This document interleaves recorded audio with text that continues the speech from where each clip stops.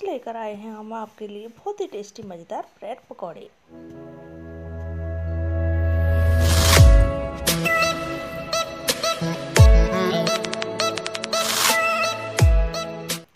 इसे बनाने के लिए मैंने यहाँ पर देखिए आलू लिए हैं, जिनको मैंने बॉईल कर लिया था। बॉईल करने के बाद छील कर आलूओं को फोड़ लिया। यहीं पर कुछ मसाले ऐड करेंगे, जैसे आधा चम्मच लाल मिर्ची पाउडर, आधा चम्मच जीरा, एक चम्मच भरकर धनिया पाउडर, आधा चम्मच गरम मसाला एक चम्मच आमचूर पाउडर और डालेंगे स्वादानुसार नमक।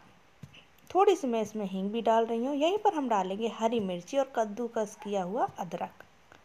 इससे बहुत ही टेस्ट अच्छा आता है। यहीं पर डालूँगी आधा कटोरी मटर, दो बड़े साइज़ के प्याज चॉप किए हुए और डालेंगे बारीक कटा हुआ हरा धनिया। अब इन सभी को हम अच्छे से हाथों से मिक्स कर लेंगे। सारे मसालों को मैं हाथों से ही अच्छे से मिक्स कर लेना है। देखिए, ये हमारी फिलिंग बनकर बिल्कुल तैयार है। अब यहाँ पर मैंने लिया है दो बड़े कटोरी बेसन। यहीं पर डाला है स्वाद अनुसार नमक, आधा चम्मच कश्मीरी लाल मिर्च और डालूँगी आधा चम्मच हल्दी पाउडर कलर के लिए। इससे हमारा बहुत ही अच्छा कलर आएगा। यहीं पर मैं डालूँगी आधा चम्मच से कम मीठा सोडा। और इसको हम थोड़ा थोड़ा पानी डालकर एक अच्छा घोल बनाएँगे। ध्यान रखें कि घोल ज़्यादा पतला या ज़्यादा गाढ़ा नहीं होना चाहिए। हमें थोड़ा थोड़ा पानी कर कर ही इसको घूनना है, नहीं तो इसमें लम्स पड़ जाएँगे। मैं यहाँ चम्मच की सहायता से घोल रही हूँ। आप किसी भी बिस्कर वगैरह का यूज़ कर सकते हैं।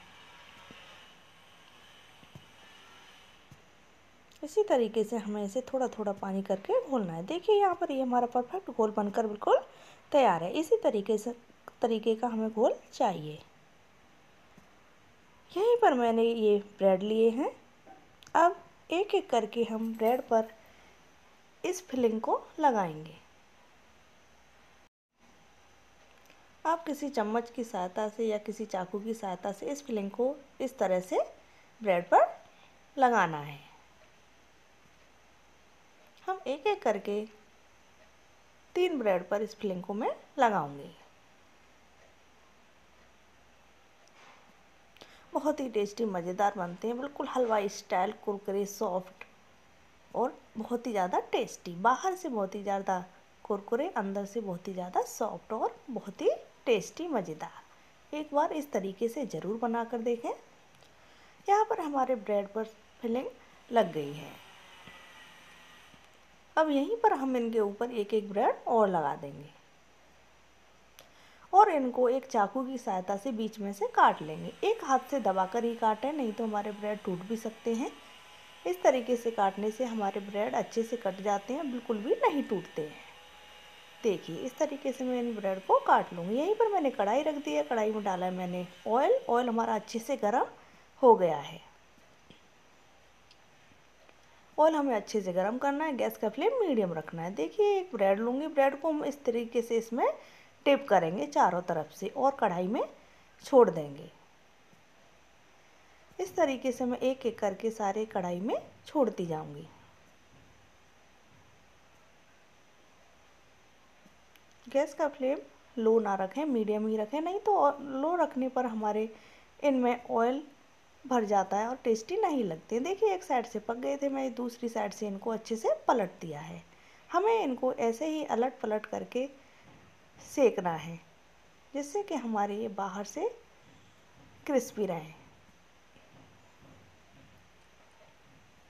देखिए, एक साइड से हमारे बहुत अच्छे से सिक गए हैं। अब इनको हम दूसरी साइड से भी पलट कर सेक लेंगे।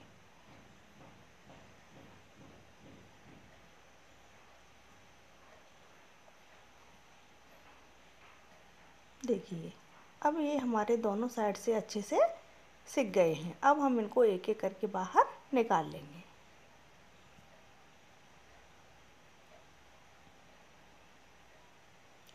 हमारे टेस्टी क्रिस्पी कुरकुरे और अंदर से सॉफ्ट ब्रेड पकौड़े बिल्कुल बनकर रेडी हैं।